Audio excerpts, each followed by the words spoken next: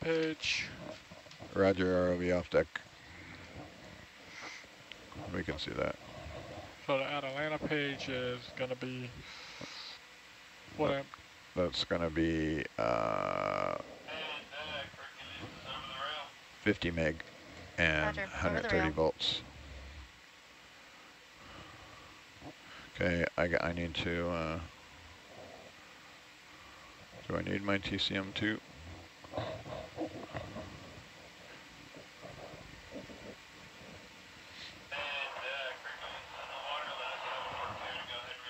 Clear to release. Clear to release. Can you come back? Are you guys good? Yep, we're good to go.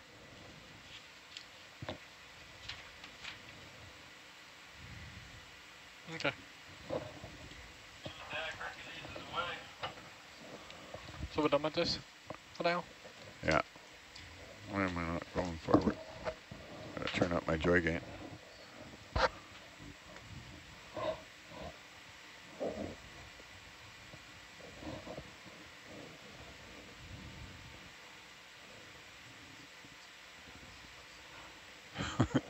I forgot to turn up my joy again. It's like, why is it not going? Roger. Roger. So some people turn alongside the ship right there. I do not. I take this really nice and slow. You just keep driving away. Uh, the ship's moving forward, so I'm basically letting the ship drag it back. Um, if you turn and fly too fast, see the people managing the tether there, Yeah. it becomes uh, painful.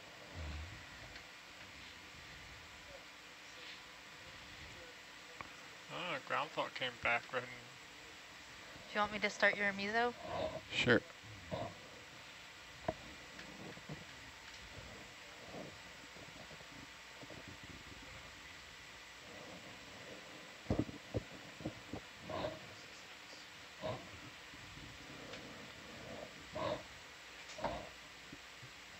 Oh no, what did I do?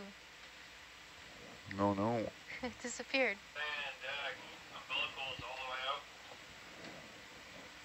Roger. Roger.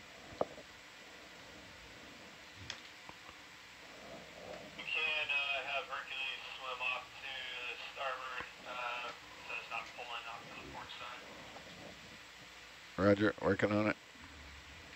Roger, we're working on it.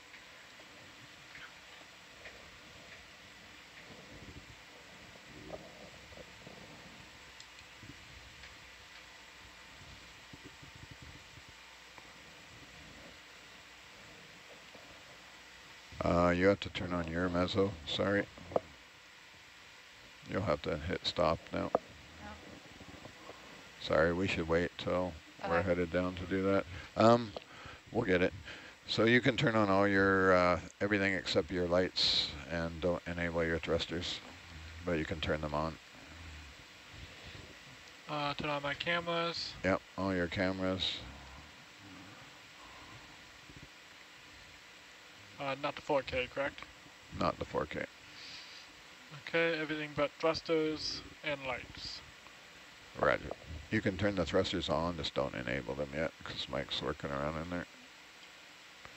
Sorry, now you can turn on the mezzo. So Danny has to have his mezzo on, Oh, okay. otherwise only one comes Only up. one comes up. If I hit it, it'll come up now.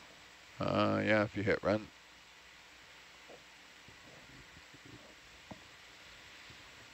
With any luck, it'll find it. Sorry, I should have started lateraling over a little bit quicker. And then once the ship takes you, it, it gets you there. It was, and so now I'm full ahead, and uh, my octans is stable enough to click in auto heading, and I am going to zero my tether wraps.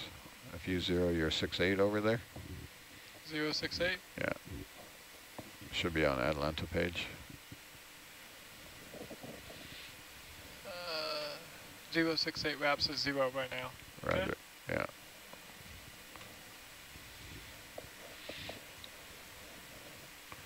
And uh, you can also light up the craft. Just press the blue button there. Uh, I haven't turned it on yet. I wonder where that ground fault's coming from. Van I deck, think it came on Atalanta's when in the you pushed water. lights. Roger, Atalanta in water. So you can say Hercus dive, dive, dive. I'm not, you want me to say that? That's, uh, if you want to have a little. That's my style. Dive, Ooh, I gotta open my boxes. Uh, Steve always says dive, dive, dive. uh, uh, some tray out, tool tray out. No, yeah, tool tray out. Torch retract.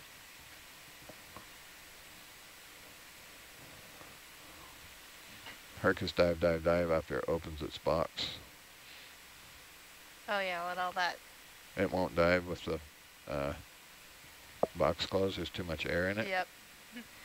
Too much flotation. You want to give me uh, craft power? Yeah, stand by. Uh, one of these cameras is going wonky, but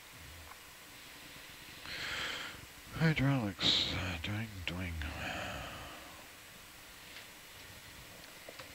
Oh, I guess I should turn on.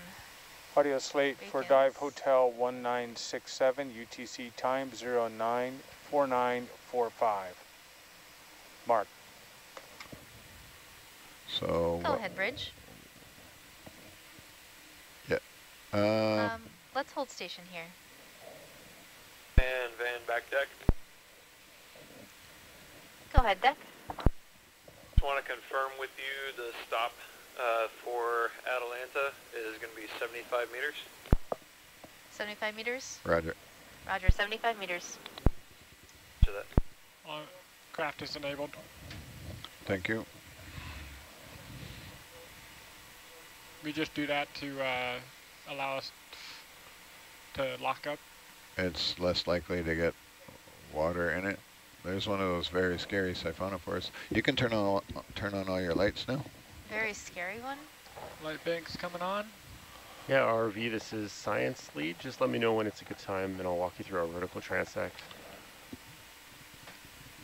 Uh, roger that. After uh, we get control of the winch, will be a good time. All right, Roger. Okay. Mm, Lights on.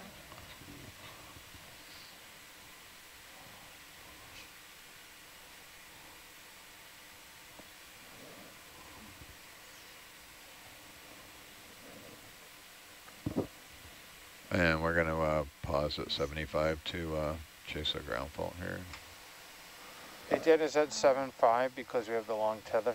Yeah, that's all right. Great, thank you. I'm going to switch to the uh, dive dive salvo now.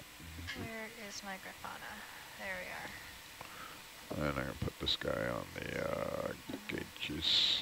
If I turn on my uh, downlights, you can see the gauges. Look at all the squid. See them, Megan? They're Oh everywhere. yeah. They're just gonna ink you the whole way. It's going to be one stinky ROV. They like to be active at night. And long speed velocity. We uh, come on, stop on the winch there. I'm struggling here. To that, I'll stop on the winch at 5 1 meters.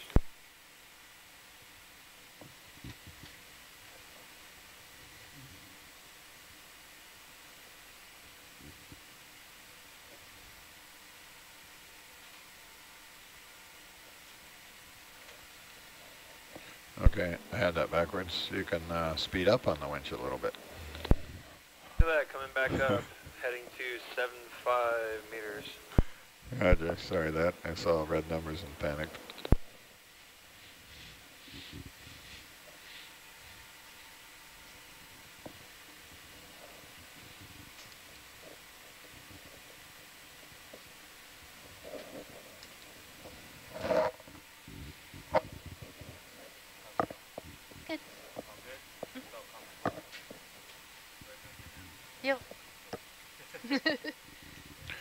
your alarm page, Danny? Tell me when it refreshes. Yeah, uh, they were having trouble figuring out heading, and then I think he just took a while to get on the bridge.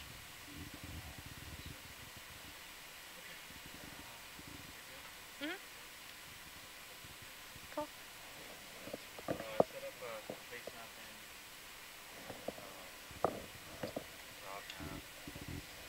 What happened here?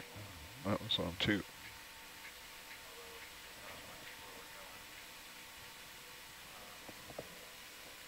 Hook DC refresh. Okay. Did it refresh? Yep.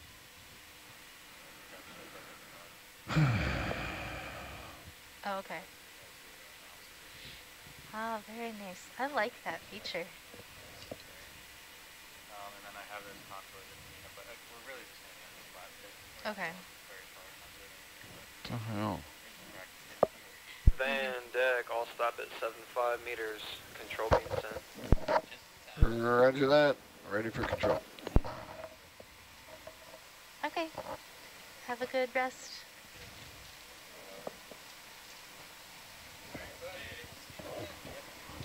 Hey Dan, I'm missing your, uh, Yeah, you are. I'm chasing a ground fault right oh, now. roger, thank you. Sorry, I should have warned you. Okay, refresh. Doing too many things there. It refreshed? Yep.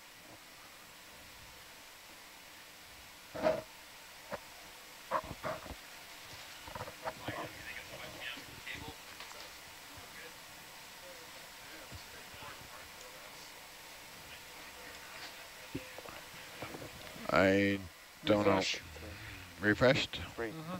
Three o'clock watch change for the pilots. Uh, science, we're off comms up here. We're going to spend a few minutes uh, chasing a ground fault, and we're going to give you to to the A mouth? team. Mike, there you go. Sounds good. Danny, Uh, have you yeah, checked on the sub bottom before? No, no, no sub bottom on the lantern. Okay, well then I will just take that off my list.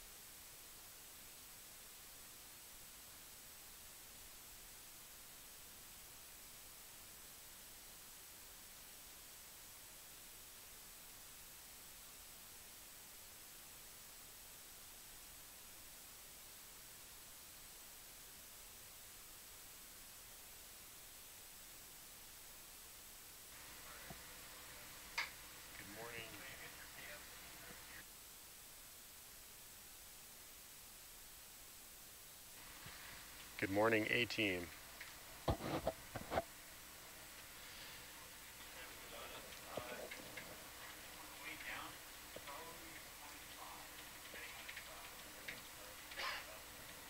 ROV, the science lead.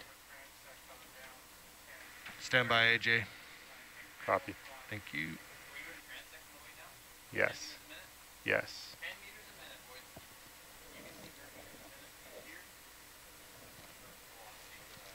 And if we can get that camera clear and lasers on.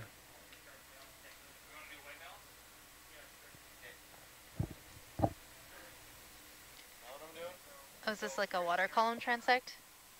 Yep, this will be a vertical video transect. Cool. Through the next thousand meters of water.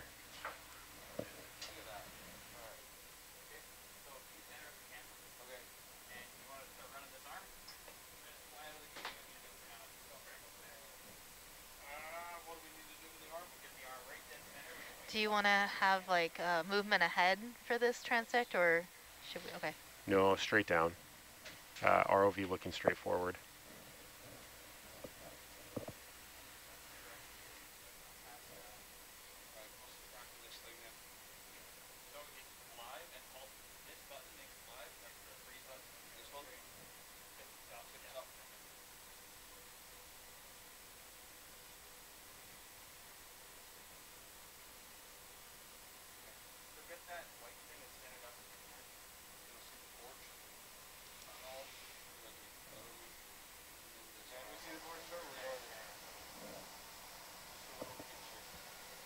I'm, I'm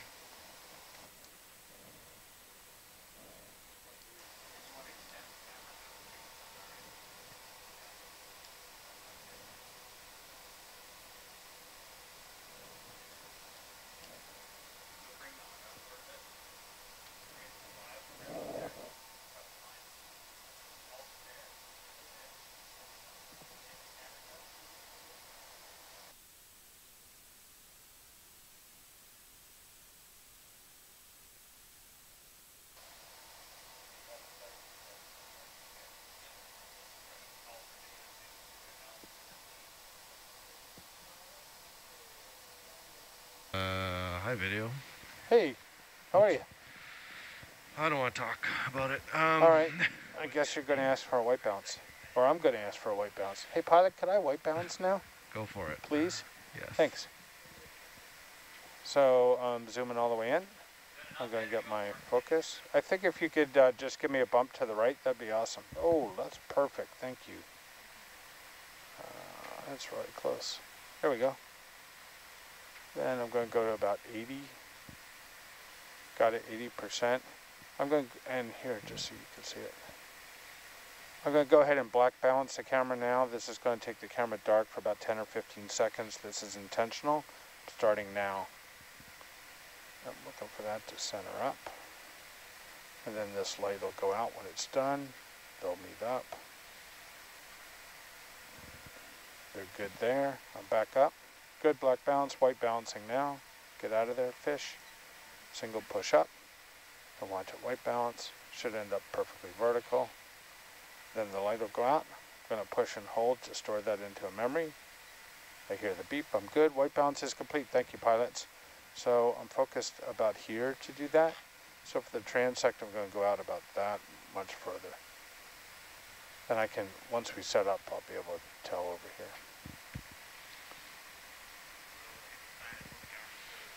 Bring the camera out, have it centered up, have the lights how they see what's going on, and then go down to 10 meters a minute for yeah, for however many minutes they However many minutes it takes. That's it. Yeah, call it. You can see it like that. Doing diving with it live, so it keeps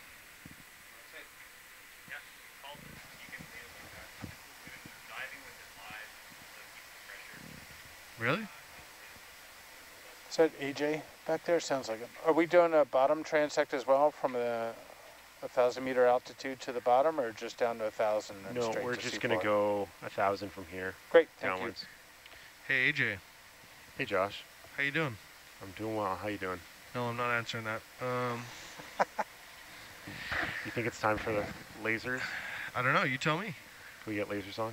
Yeah, lasers on. Uh, I'm going to go and look straight at Hercules. I The wanna world. Get rid of this. I'm gonna bump in some uh, gain so I can frame my shot up. Uh,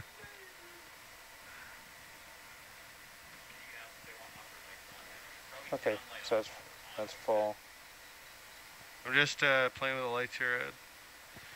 Ed. The Oh, instructions. I have on lights is uh, broad coverage in the direction of travel. Broad coverage in the direction of travel.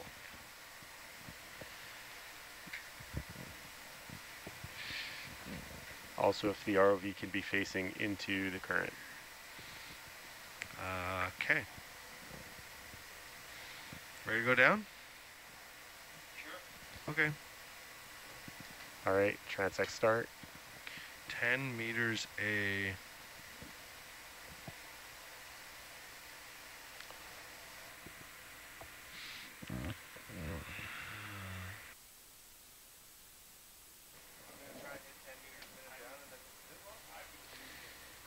Logger, did you get the transect start? Perfect.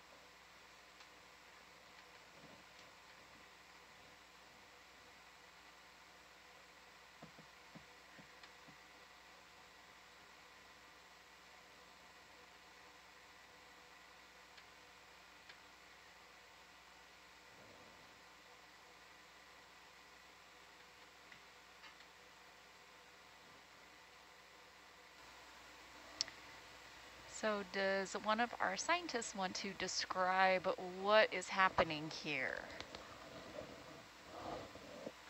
The vertical, uh, That's an excellent question. yeah?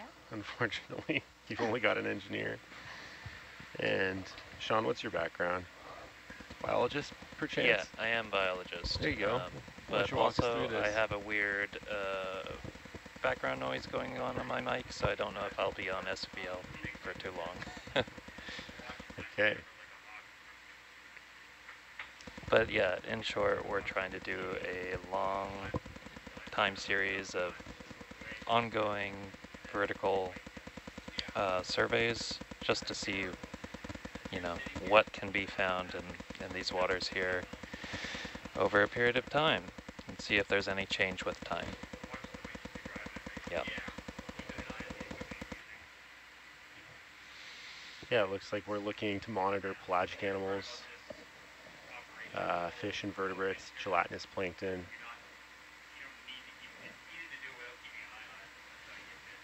I guess count the specs, maybe? All right. Well, we certainly have. I don't think we that, count the specs. You don't think we count the specs? What do you do all day? Uh, well, it depends on what you're seeing in the water column. I've definitely had some water column scientists be like really freaking out over some mm. specs, and I didn't see anything. So, Yeah, there you go. you know, some of the specs are stuff. They're all, yeah, it's all stuff. you definitely have to count them, Yeah, I definitely but see a only lot the of good specs. specs. Oh, okay. So there are like some foraminifera that are going to be spec-like. We'll see lots of jellies. I, I spy a jelly. Yeah. there's really a lot of tiny one. jellies here. I mm-hmm. think those round disc ones are Solmissus. But I don't know my jellies very well. Yeah, it's hard to tell from way out there, but that sounds about right. So on descent, gear thrusters are here, not needed, not used. And all of your I'm not sure what kind of squid species we have over here. At least not at these depths. When in doubt, Decapodiformes. Yeah, Decapodiformes. It's my default. There's a Kenath.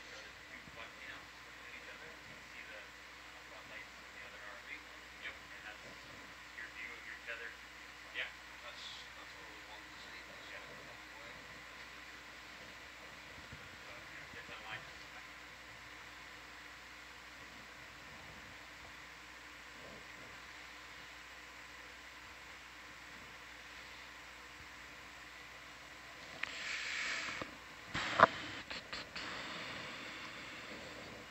Am I gonna be playing with this the whole time? Come on now.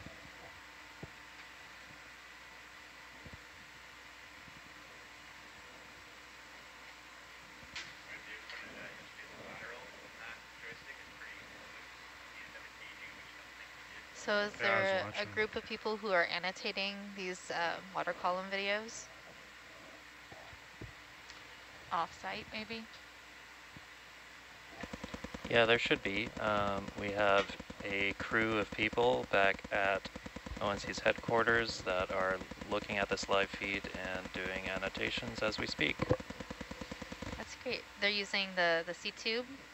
Yep, they use SeaTube v3 uh, to do all our annotations. So you can follow along either uh, through um, SeaTube v3 itself, or we have a uh, live page as well as Nautilus uh, where you can view our annotations in real time.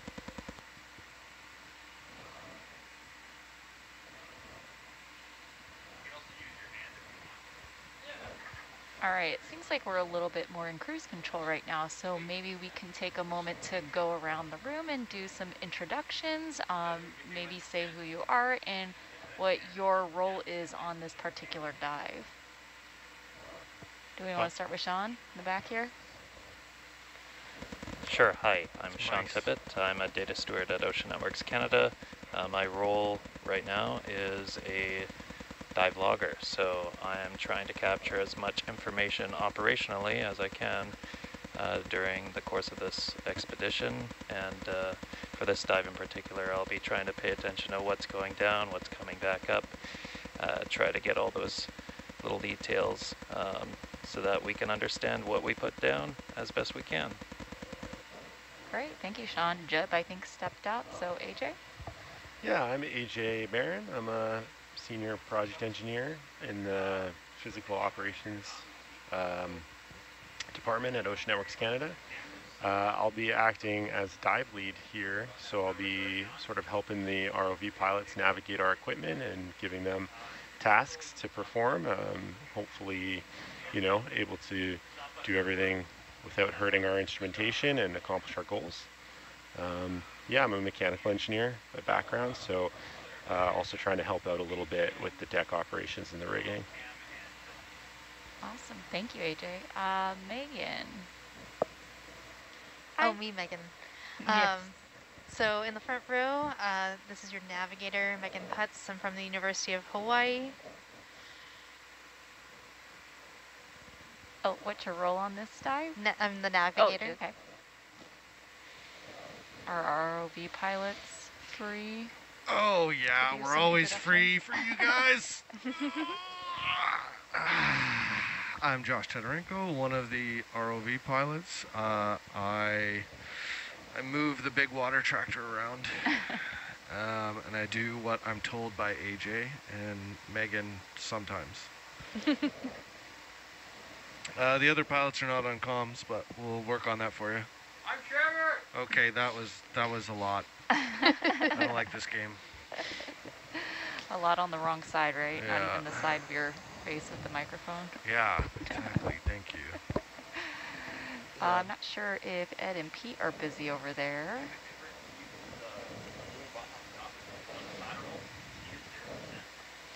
Here. Uh, hey, my name's Ed. I'm at the uh, video engineering position, and I'm not here. I am leaving.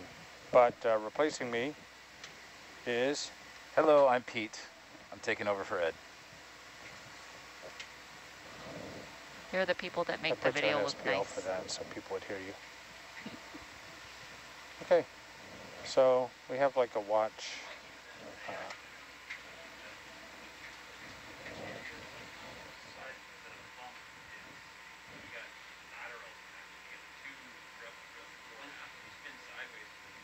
um,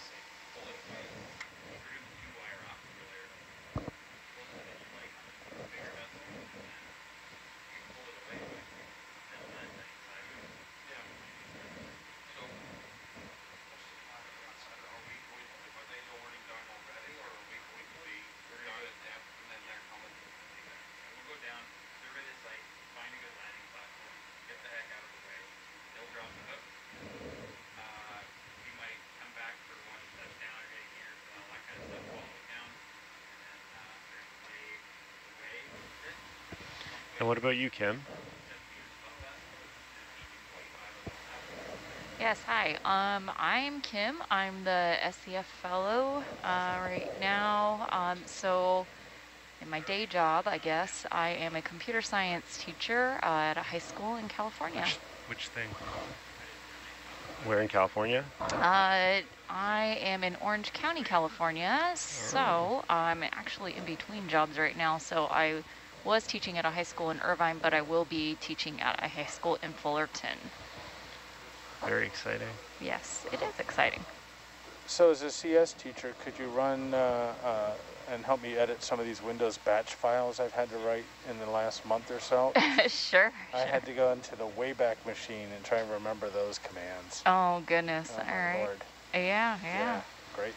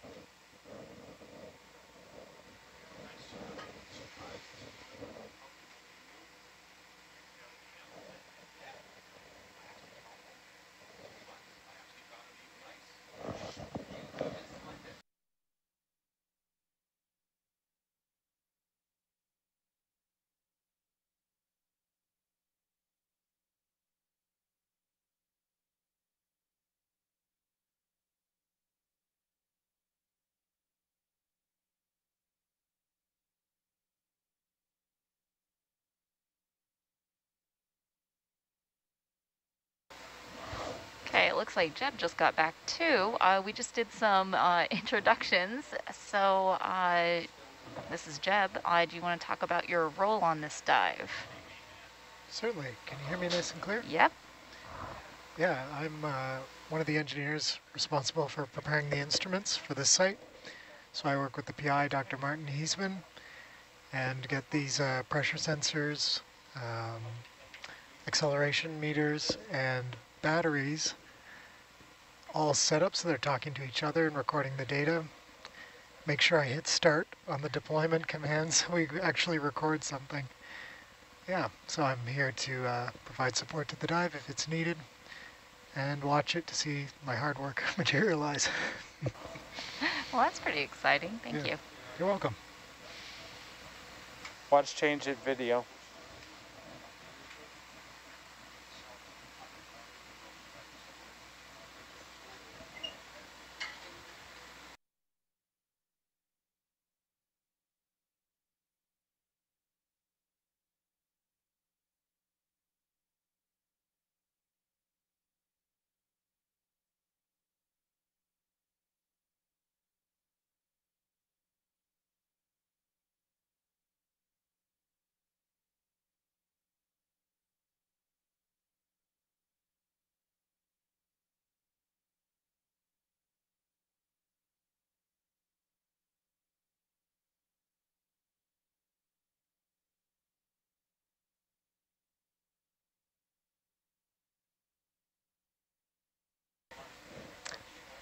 ROV Science. Hey, Jeb. How's it going, Josh? Not bad, man. How you doing? I'm doing well. Uh, I'm game to do a little bit of troubleshooting with the uh, CTD you guys have plumbed in. Um, is it possible for you to fire up the Moxa and the port on that one? Stand by. Thanks.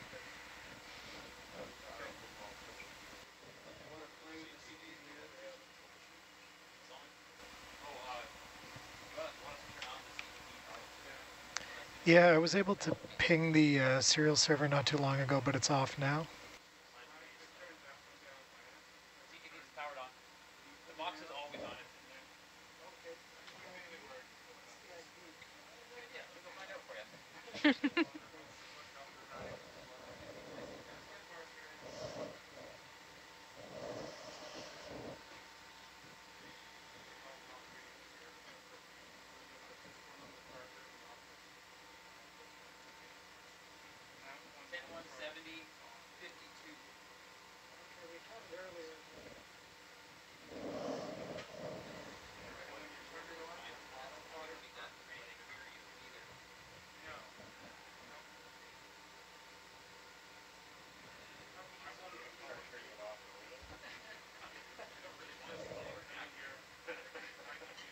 Oh, yeah.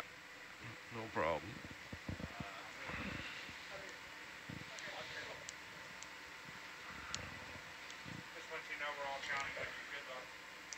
Uh, GFI got worse.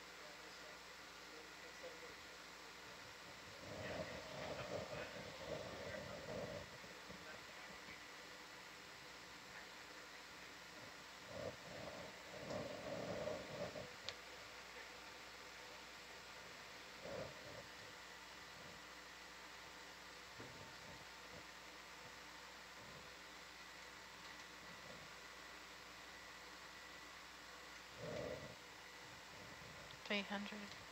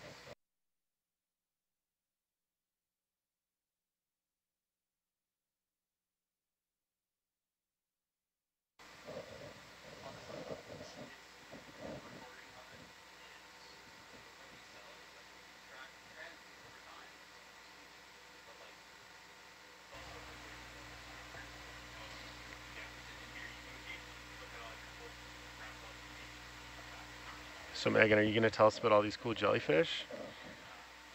Well, these are all myctophids that we're seeing now, these little fish that are swimming around.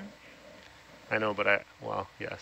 but there have been some cool jellies. There are some cool jellies. Uh, I saw some larvacean houses, a bunch of siphonophores. What's a larvacean house?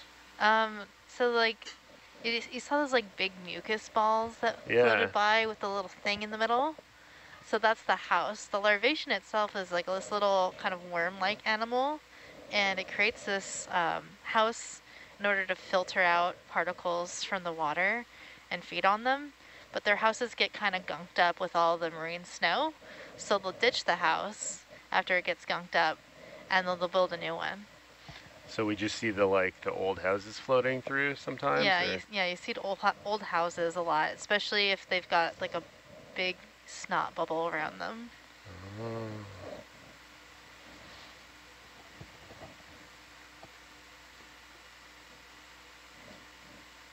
I saw a few sergestid shrimps float by, some copepods.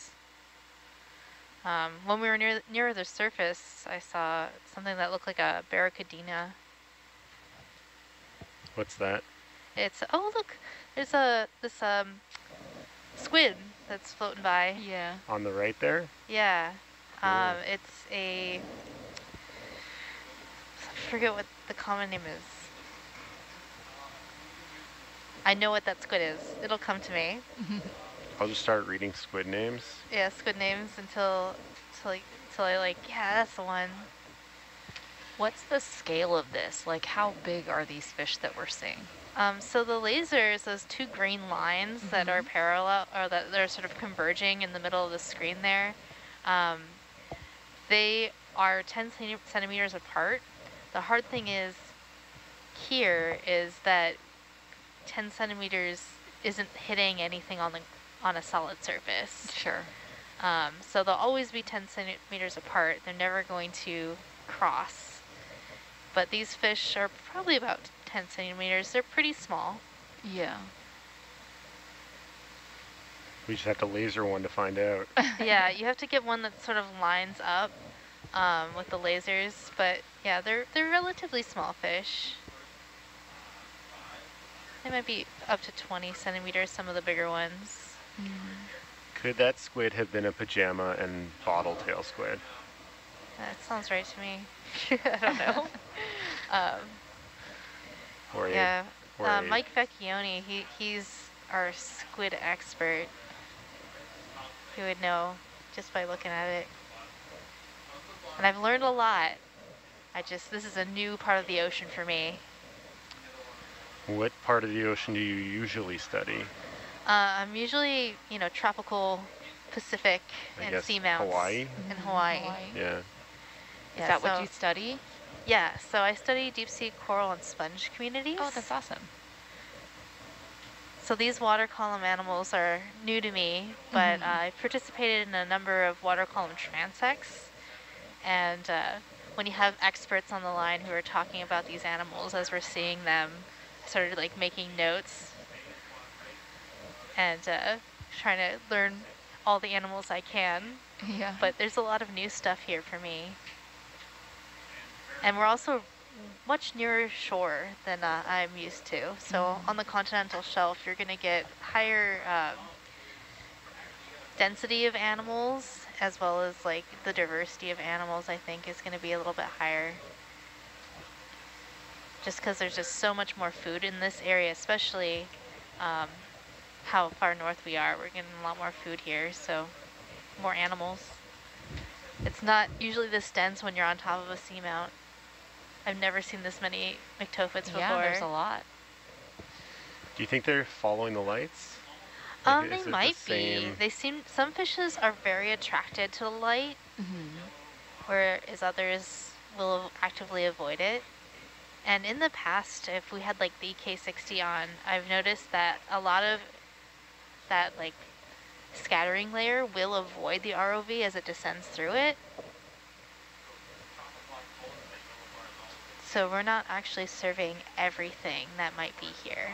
Obviously, this is a great way to survey um, jellies and more uh, animals that don't actively swim away from you. Mm -hmm.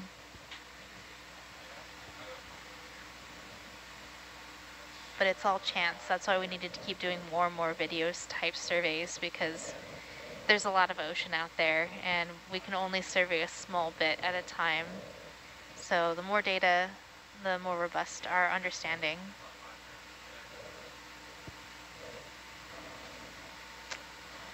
The name of that squid starts with a C. I the, feel it. The common name? No, the scientific name.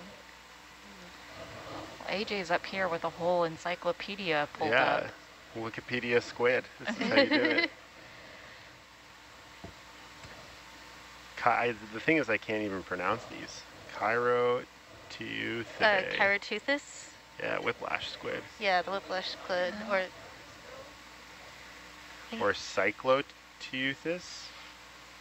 No, it's not that one. All right, looking for C's.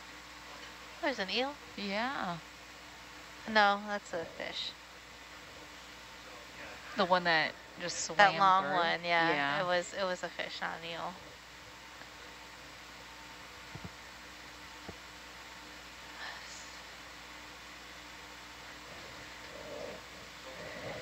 What's that we're Actually- seeing in Argus Cam? Oh, that's um some squid ink. Yeah. They uh they do like to ink us quite a bit. and it's kind of smelly.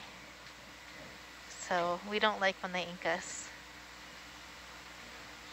Have they ever like really nailed the camera lens? Oh yeah, no, they'll, they'll like ink right in front of the camera, and just like leaves this sort of mucusy bits. So they have two ways of inking, like cloud ink, and then you have this pseudomorph ink, uh, which has mucus in it, and so that's what you're seeing is like it like sticks to Mhm. stuff. So like the cloud is like their ninja smoke, and the, the pseudomorph is sort of like distraction here. This is more interesting, and I'm gonna get away. Yeah.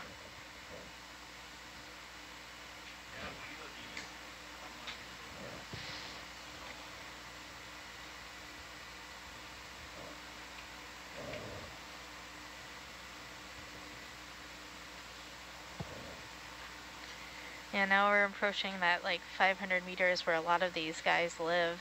Yeah, it's So definitely seeming the more density, dense. yeah, Mhm. is increasing. I think we're only surveying around the first thousand meters. Yeah, then we'll we'll increase our descent speed after that.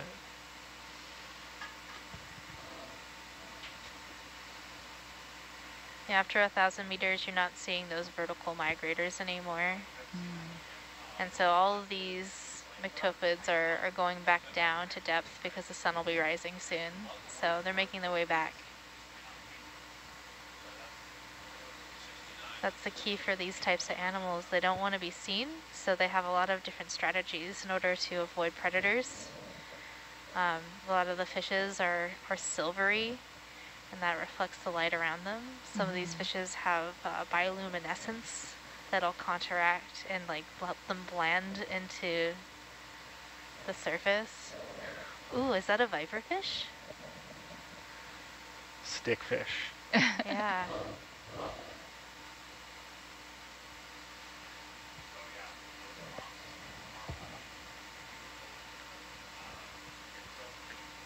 Oh, is it coming back?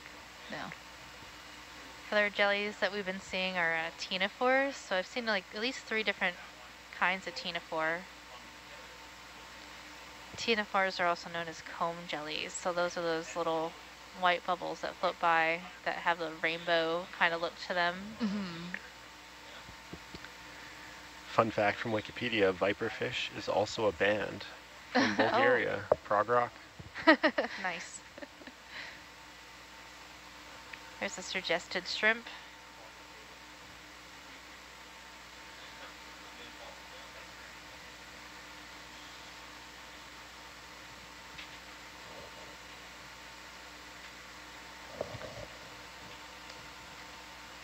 Uh, where's my mouse? Come here, mouse.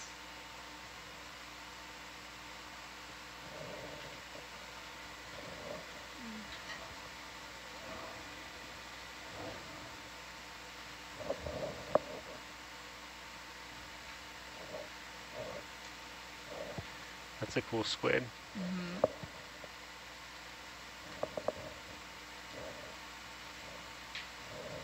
That one could be in the Chiroteuthidae.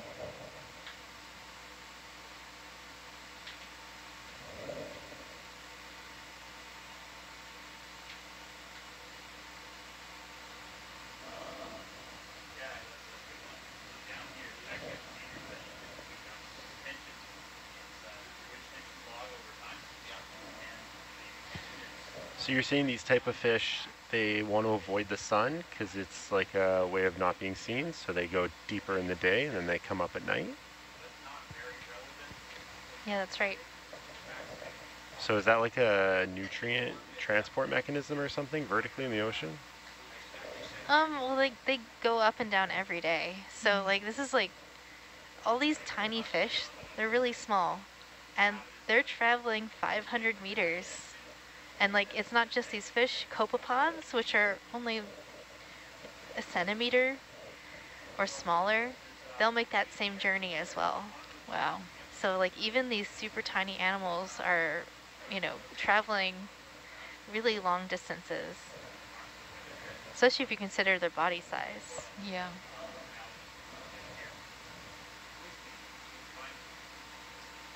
Well, it looks like they're traveling about the same speed that we're descending to. Because a lot of them are staying They're staying the with sc- us. Yeah. yeah. these little fish can stick with us. So that's about 10 meters per second, I think Per- we're at per right minute. now. Or per minute? Yeah. Yeah. So we're not going very fast.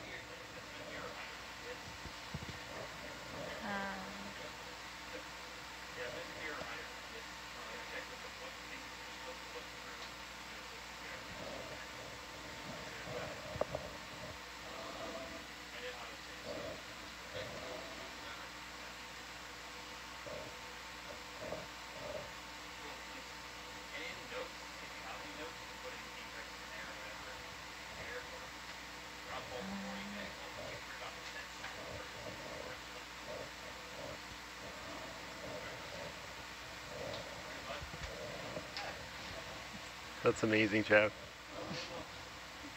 Was that from 10 years ago? So we're in the same shirt. Are you looking at your uh, Nautilus picture? Yeah. Yeah, I didn't bother to submit a new one, and AJ's remarking on the consistency in plaid over the years.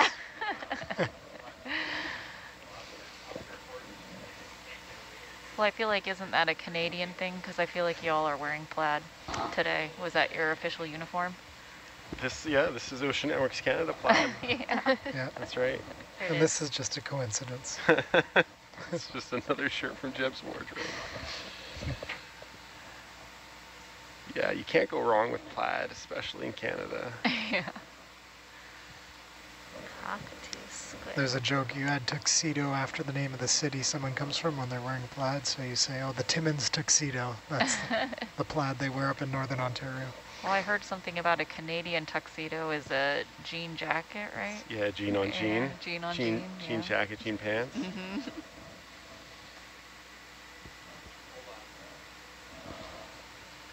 AJ, please explain jean pants. Jean pants? Well, Denim pants? Is jean the material Jeans? or Do they belong Uh, to yeah, jeans? Megan's got it. It's just jeans, AJ. jean? well, then what happened? What's the what's a jean jacket? Is that pants that you wear That up is a top? jacket made out of jean material. Okay. so I rest my case.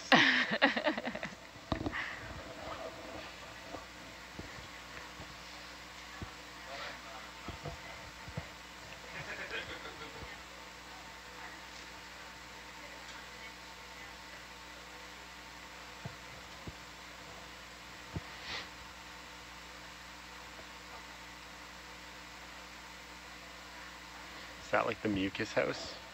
Yeah, it looks like what Megan was talking about earlier. You see a lot of those. Um, I do a lot of scuba diving, and you see a lot of those just floating around. And I Oh, always wondered what they were.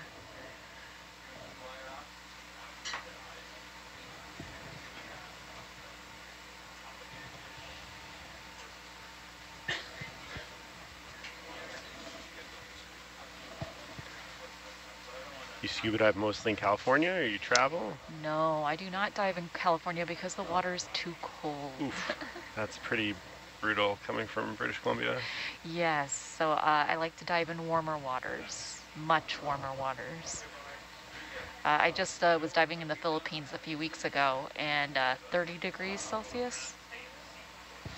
That sounds nice. Yeah, I, I don't dive, but my wife dives for her research Mhm. in Nova Scotia, Oh and gosh, it does not look like fun. no! You have to dry suit and wear Oh, yeah. thermals underneath, and I would probably even invest in like an electric vest or something underneath my dry suit in that situation. Yeah, it looks miserable, I'll be Mm. honest. But I'm sure she probably sees some pretty fascinating things down there.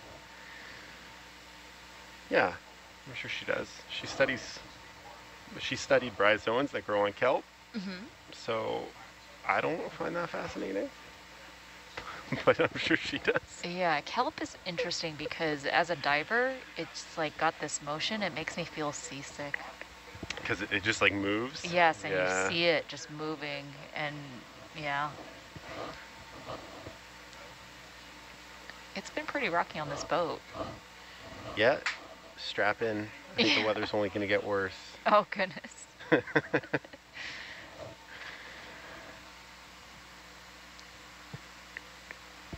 find uh, the the banisters, like the barriers on the top bunks here, are insufficient as restraining devices.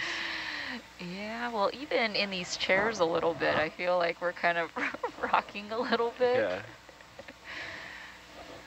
Gives you that feeling like you're gonna get knocked over. Yeah, they should invest in some hammock chairs or something.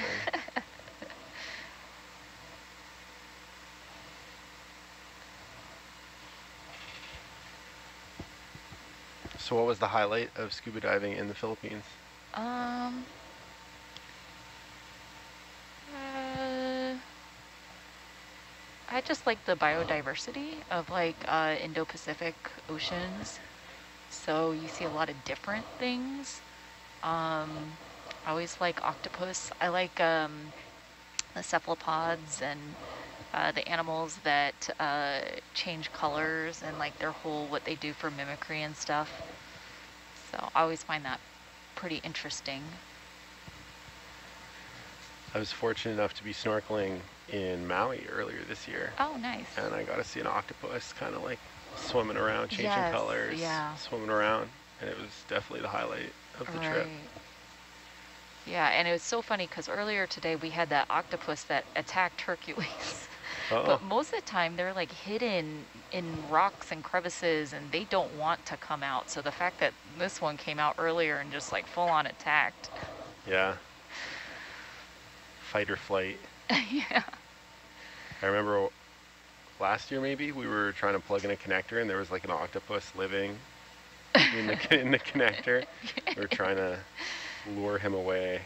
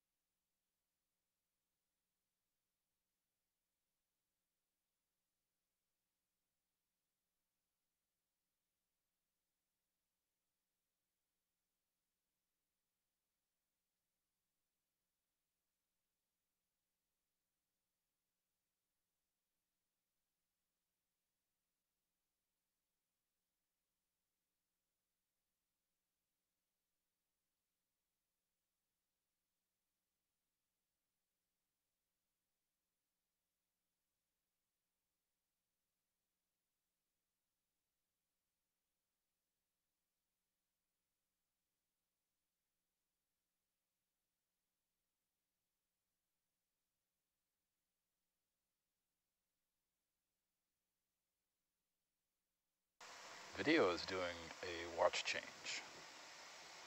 This is Pete. Have a good night. Jacob is your guy.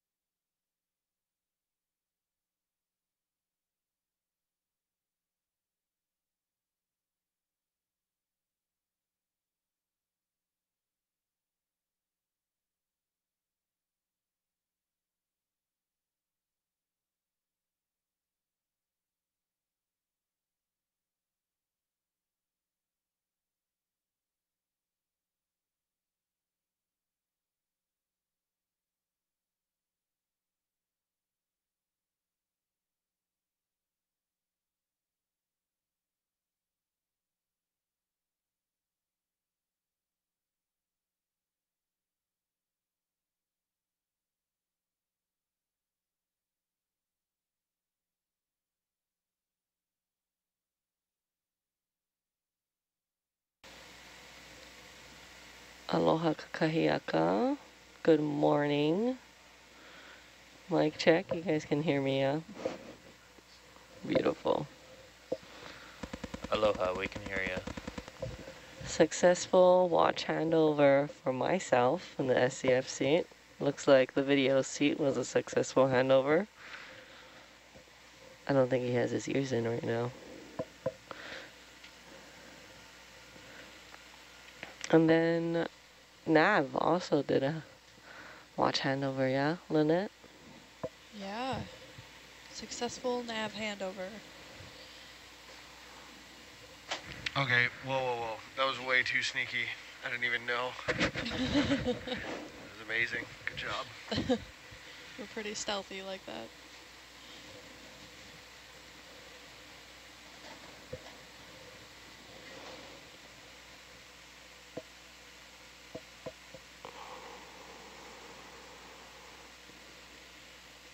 I hear there's been some action on SPL this morning with some octopus.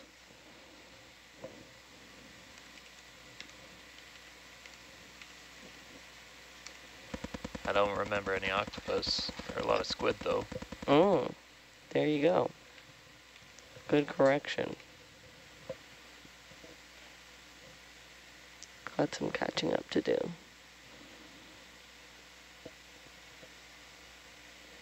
Mm. It's nice to finally see blue water. Yeah, that last site was a little murky, wasn't it? Just a tad. I know there are some little funny side jokes about a green piece of paper would be just the same.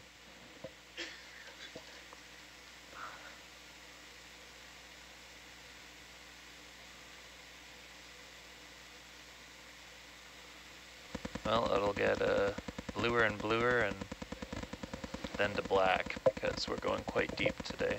I'm going to go to uh, around 2,500 meters. 2,500 meters, blue to black. Thank you. I was like, who is talking? I'm like, oh, same person on my row. Hello. Hi, Sean. Hello, Sean. I guess some introductions if you guys are okay with that. I am Malanai Kane Kuahibinui, SCF. I'm gonna send it to my side right over here. I'm Jeb Dexter. I'm one of the engineers with Ocean Networks Canada. I prepared some of the instrumentation that we're deploying today, so I'm looking forward to seeing that deployed. Thank you, Jim. Yeah, it's Jeb, J-E-B, for G-E-B. folks at home. Thank you. Thank you.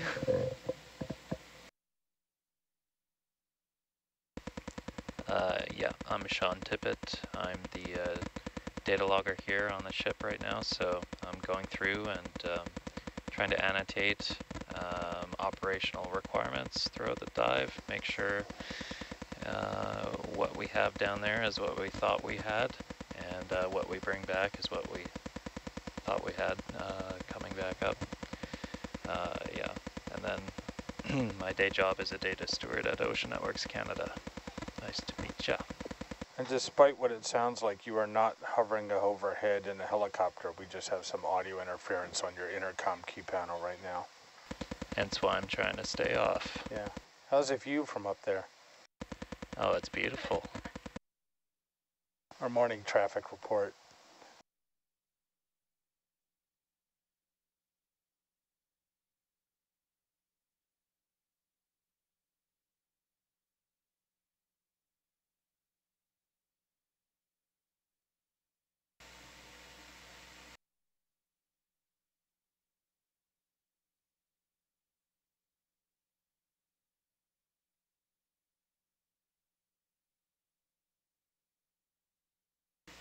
Thanks. Nice to meet you, Sean. Anybody in the first row would like to kick us off for our quick intros?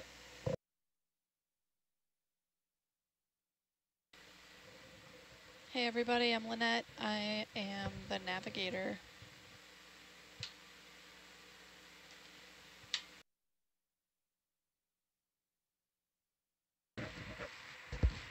Hi, good morning.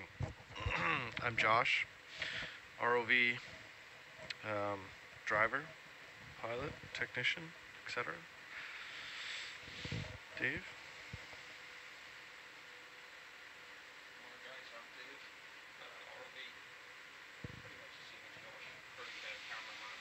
Whoa, whoa, whoa, whoa, whoa. Same as me. Buddy.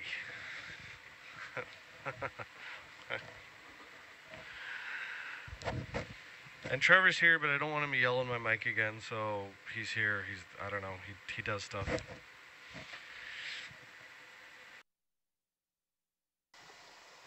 I guess that leaves me. Hi, I'm Jacob, uh, video engineer, documentarian, usually video editor for OET.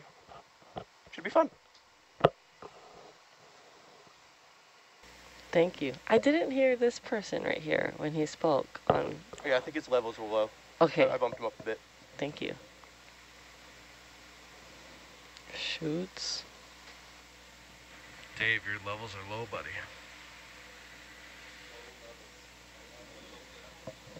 Well, that's a better level. That's all that matters, right? Oh, there you go. That's probably better.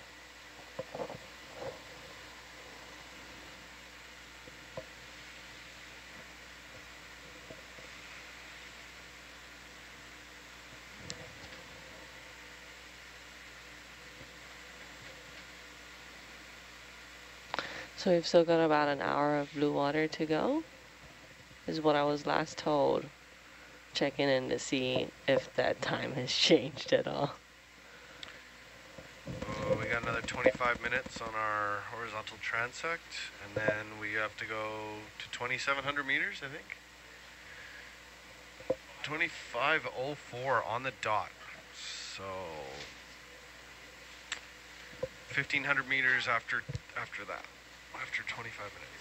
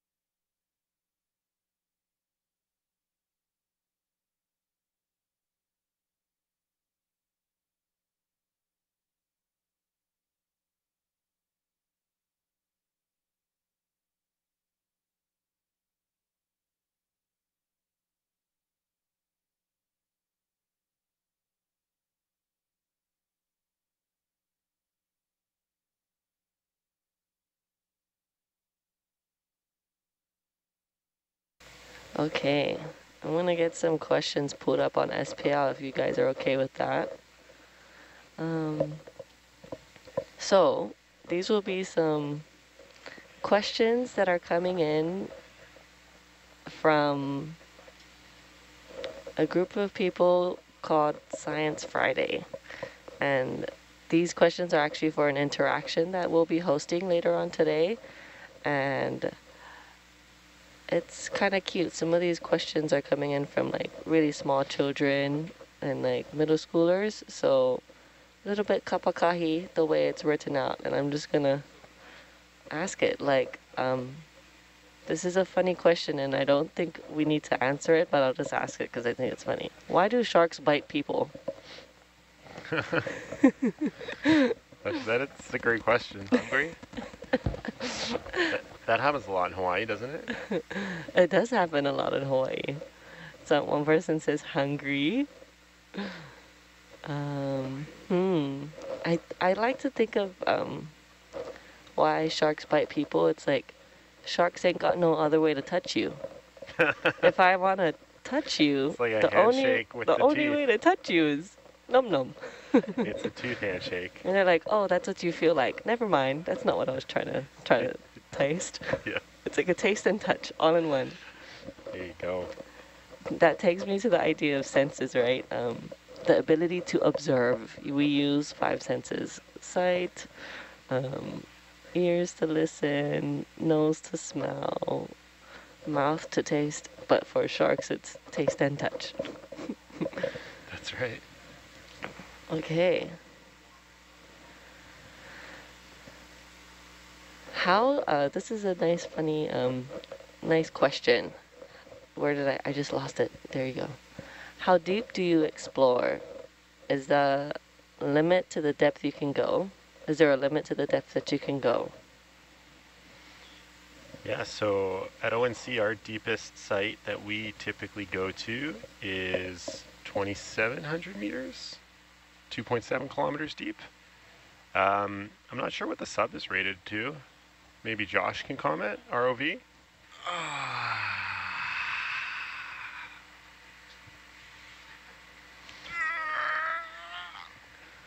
That was a big maybe, right, Yeah, Josh? really embellishing that one. 4,000 meters. 4,000 meters. That's pretty deep. Like, in what way? Like downwards. Okay, th- thank you.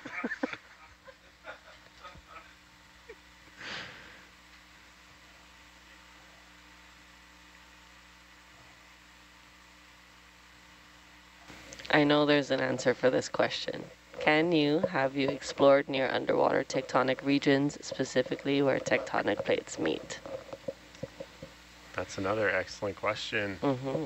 Well, one of our favorite sites that we visit all the time is Endeavor Valley, which is a border between two tectonic plates. I believe it's the Juan de Fuca plate and the Pacific plate. Yeah.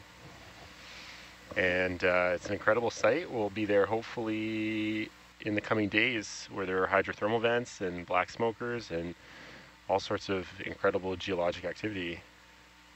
And uh, we are going to use some of the instruments that we have on board to try to yeah, measure some of the properties of the water down there and, and the smoke that's coming out. And that allows us to study it.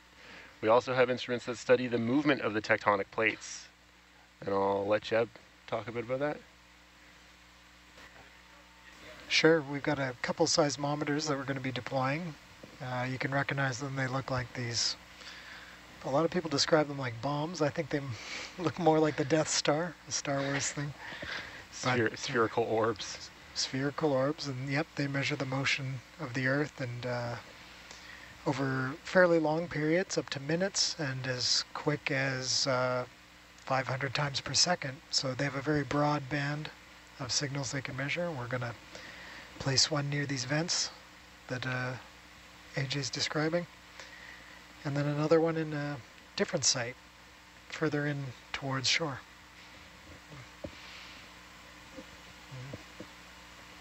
Thank you. Um, do you mind explaining what do you mean by measuring minutes and seconds, please?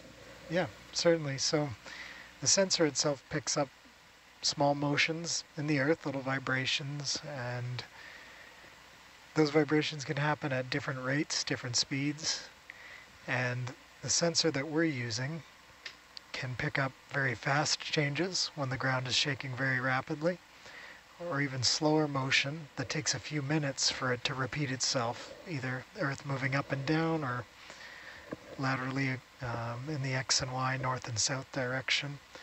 And um, from what I understand, it's kind of a challenge to make a device that has such a broad response to uh, subsea signals like that.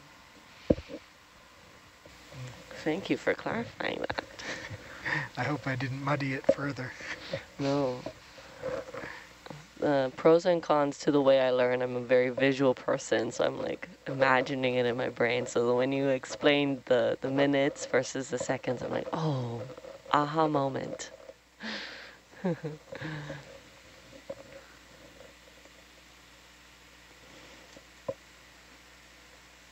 okay, I like this question. What kind of routine safety checks you follow to um, do you follow to reduce the risk to the Nautilus, um, its crew, the ocean, and devices it interacts with? For example, is there a recertification and inspection for the craft, or are the remote arms calibrated for precision? Are there are there seat belts? Safety is on my mind lately.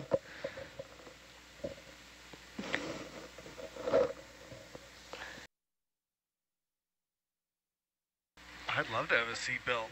Sounds like an ROV question. Can I get a seatbelt? Um, the specific parts of the ROV are inspected and, and rebuilt if necessary every year uh, to uh, handle the ocean depth that we go to. Um, we calibrate the arms ourselves, uh, not every dive, uh, only if we have to. Uh, as far as the vessel itself, it is very safe. I cannot speak to its mm, recertification process, but I'm very sure that it uh, gets inspected and gets put into dry dock every few years, like most vessels, and uh, gets recertified and inspected properly. Um, so we have lots of safety briefings, especially the beginning of, uh, of any cruise, to ensure that everybody knows um, what to do in the case of an emergency or anything like that. Um, so safety is number one priority for the people, uh, the ship and, and the ROV on board, that is for sure. We also drill, I think, every every new crew. There's going to be a drill at some point so that we practice how to respond in safety situations. Also, there are no seatbelts. But in the first few days in rough seas, I know I'm falling into pretty much everything.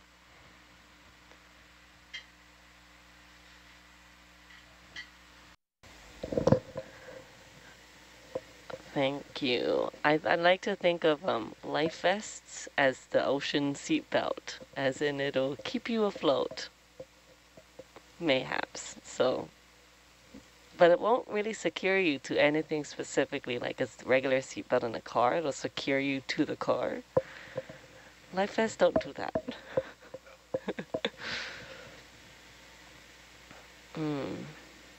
Ooh, I like this question. How do I become an ocean scientist? I don't know who can answer that, but anybody? I feel like maybe the data logger might be able to answer that. How do I become an ocean scientist?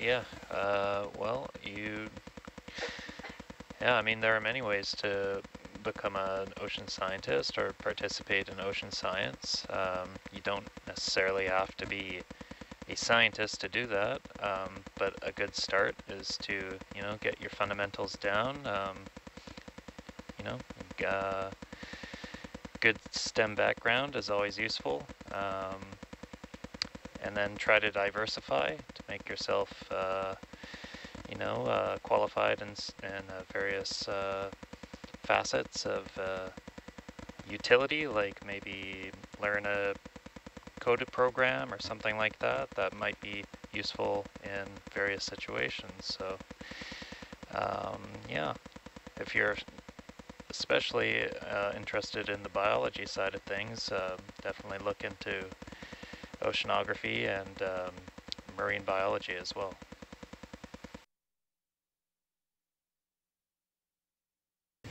Thank you, Sean.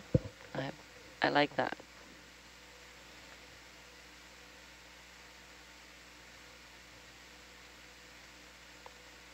Little aloha morning message. Good morning from Louisiana. Hope you're having some good coffee this morning. Who's got their coffee on top?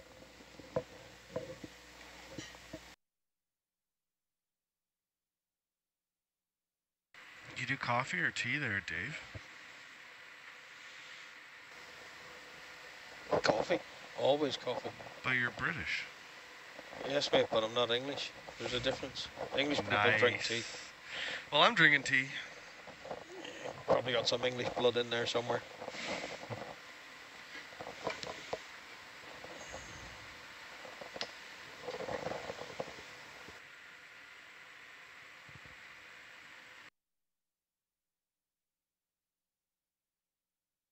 Video, what do you got? Coffee. Definitely coffee. With a little whiskey in it. Yeah, I'm AJ and I'm drinking rum.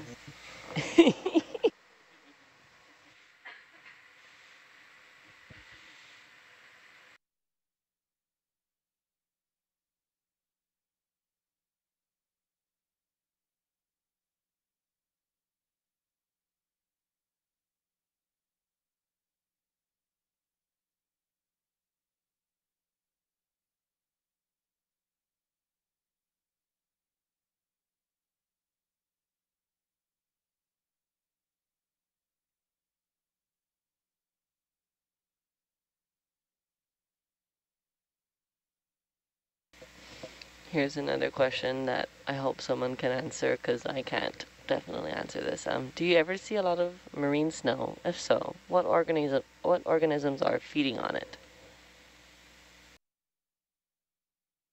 You're seeing it right now in the feed.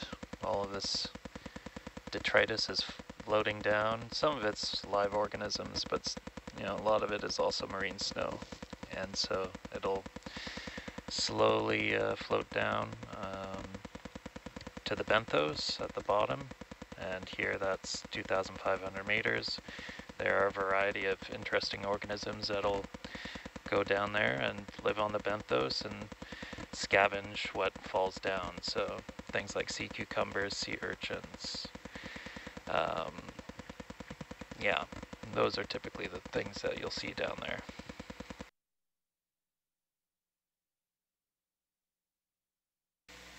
Thank you.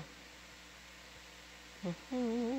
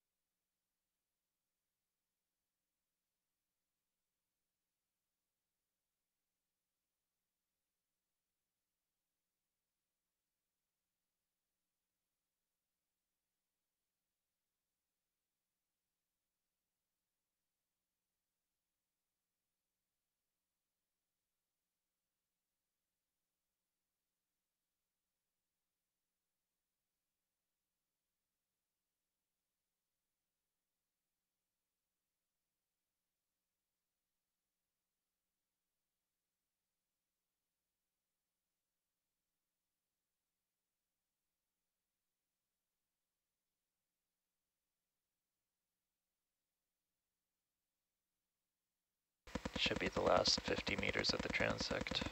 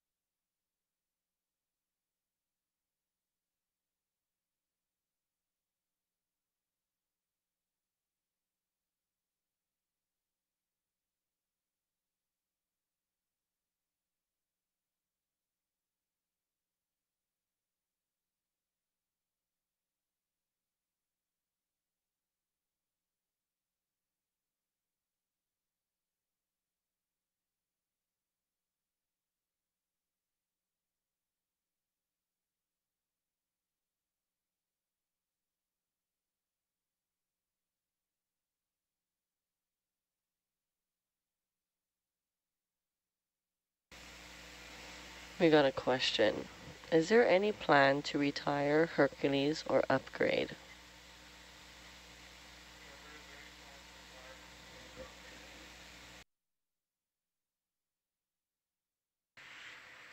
Hercules has just been upgraded with a brand new frame and a new foam pack. So, I don't believe any uh, more large upgrades uh, are in its near future. Uh, and I don't believe it is being replaced anytime soon either. Is that why the porch got so much bigger? Did it have a hydraulic porch before? Maybe. Stand by.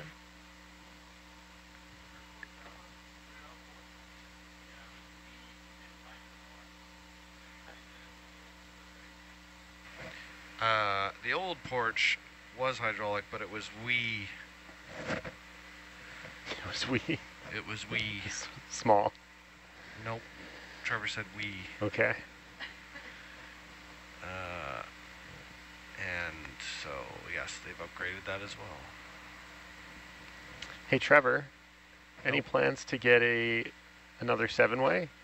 You can't talk to Trevor. All right, Josh, can you ask Trevor if there's any plans to get another seven way? Uh, I'm just gonna make up an answer. Um, no. no. It is difficult for um, vehicles of certain horsepowers to operate two seven-way. Ah, I see. It's just not quite enough. The five way is more fun, anyways. I like it. This is seven function radar, though, right? Mongo Mongo seven? Yeah. Oh, they're both seven. Yeah, they're both seven. It's just that the left manip is rate.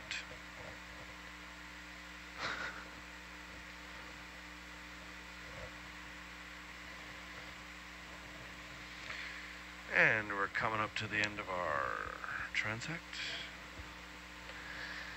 Sure are. Sure are.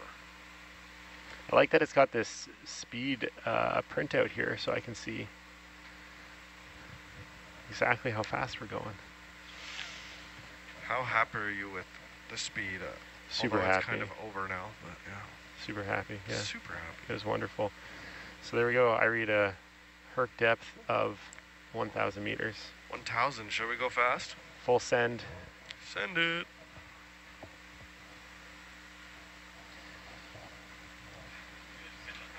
You, you got that, Sean? Yeah. Great. I'm giving her all she's got. Yeah. Gal.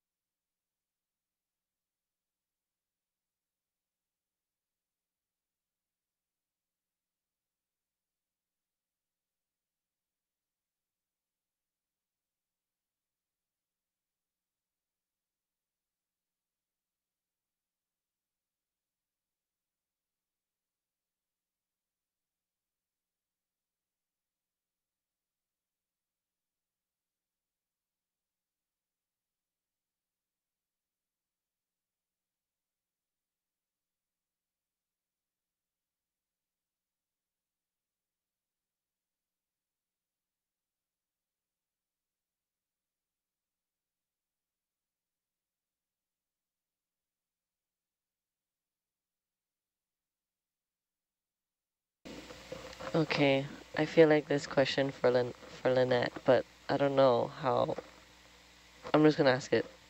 Are the Great Lakes, e.g. Lake Superior, well mapped? I know there are much smaller spaces than the, they are much smaller spaces in the ocean, but when I teach earth and space science to my middle schoolers, we focus locally. Also, there is some really interesting geology with our basins. Lakes, are they mapped? Yes, I would say the Great Lakes are very well mapped. What what do we have here, AJ? Any manao? No. I don't know. do you do you know where that data might be available? Is there like um, I guess like a database for bathymetry? Um, for the Great Lakes? Sure, for any bathymetry. Yeah. Um, so NOAA um, kind of is in charge of a lot of that, um, keeping databases for bathymetry data and updating charts and things like that. Um, so uh, let's see, I think if you Google like NOAA bathymetry data, you'll probably get directed to a website called NCEI, um, which is a repository for a lot of environmental data. Um, and there's a whole lot of bathymetry data there. So that would be a good place to start.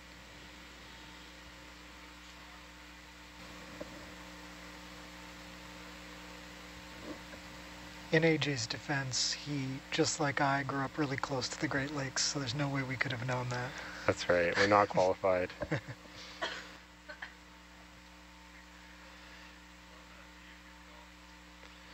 That's a good jelly.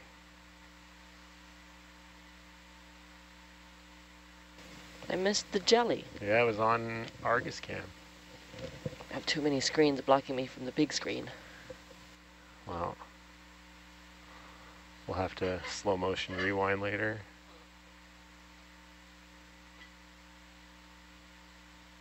I just scooched over so I could have a better view of all the screens. I can make I can make room as well. I also have two screens in front of me of the same exact thing. Yeah, I can change this one if you Oh. want something more exciting. No, I'm I'm just sta staring at numbers changing and trying to like math was in my brain. What's actually happening in front of me? Oh, we're descending. Yeah. My hopo. All good. I'm chilling. What? I don't know what any of these do. Oh, the fun of all the buttons and what they can help us to do. Oh, it's the I see. Dun, dun, dun.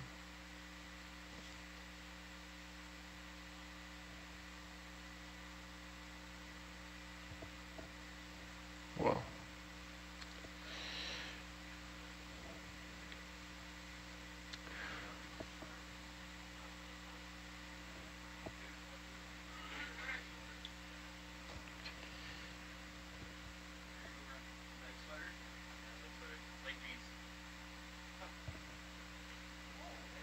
They're called jean pants.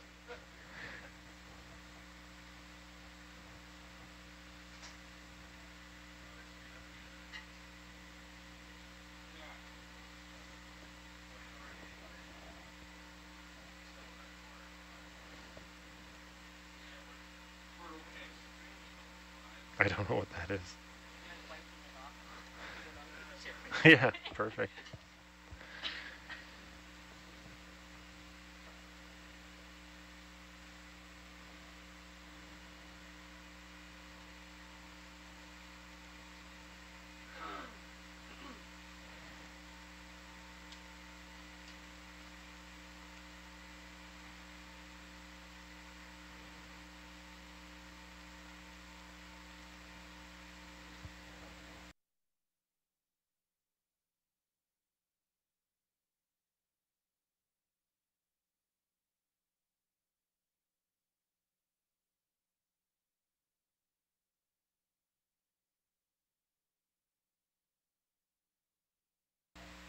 Hey Jeb, Hey, AJ. Great Lakes trivia for you. Which Great Lake do you think has the most population around it? Toronto makes me think Lake Ontario. What about Lake Michigan. Lake Michigan? Michigan, right? Chicago? Yeah, which one's that on? Michigan, I think. Still Michigan? Not Superior? Not Erie? Well, they'd argue that it's superior, but Go no, for it. No, ta no takers on that joke. I'll go. Too bad. That sounded condescending, but I appreciate it. They'll take anything. I'm here all week. And then some.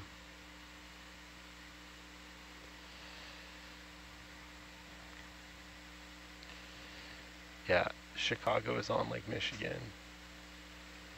Detroit's on Lake Erie. It's got Cleveland.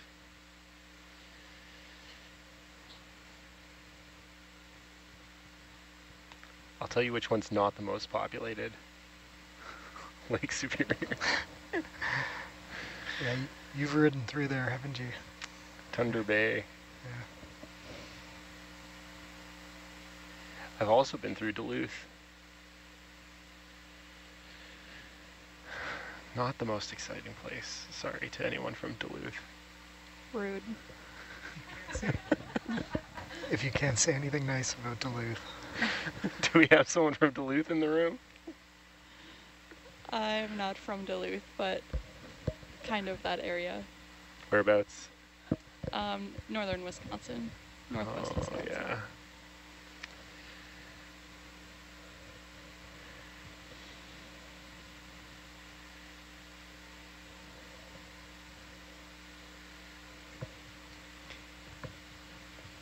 Green Bay? I don't know anything about Wisconsin.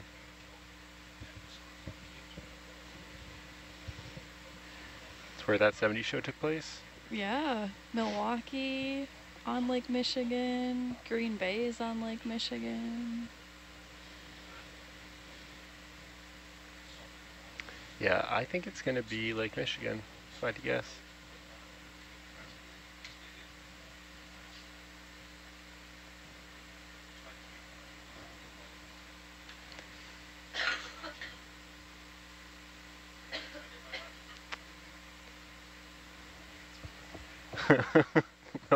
Searching until we find the right answer. How do you even search for that? The biggest cities on the Great Lakes.